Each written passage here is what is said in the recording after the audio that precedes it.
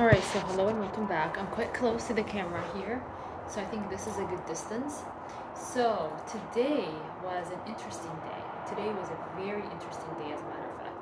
Um, today I took a quiz. I did not get my nose hit, thank God.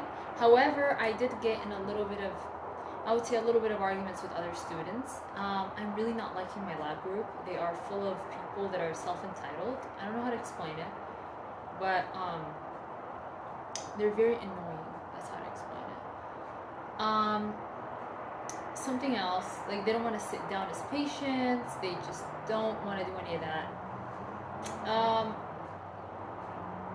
something that I wanted to say for sure is um,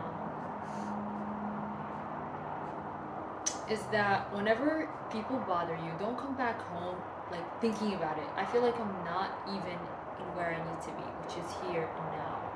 It's very important that you realize that people irritants will come, will arise. It's just part of life. People will be irritating, and it says nothing about you, everything about them.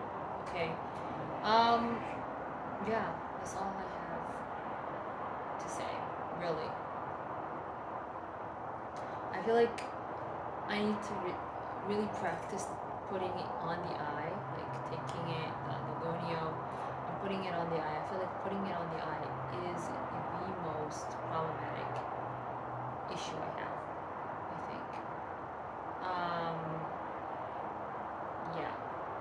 I need to practice. I just feel like this, the semester is a bit challenging, not because of the material, but because of the lab. The amount of things we need to know. That's the only thing. I really need to practice every week. I need to go for additional hours, like um, Tuesday or something. I think after, I think would be a good time to practice. Yeah.